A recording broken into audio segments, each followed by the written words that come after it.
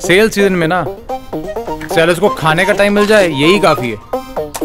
यार, फिर से गलत ऑर्डर भेज दिया। ऐसा ही लगता है ना, जब इतनी मुश्किल से जनरेट किए हुए आपके ऑर्डर्स कोई फुलफिल ना कर पाए। अगर गलत फुलफिलमेंट पार्टनर के चक्कर में फंस गए तो सेल सीज़न के बाद भी भूखा रहना पड़ेगा। अरे, वो तो शुक्र है। आई वेड ई टू माई टीम जो देता है पीक सीज़न में भी स्टैंडर्ड फुलफिलमेंट का भरोसा, पक्की प्लानिंग के साथ।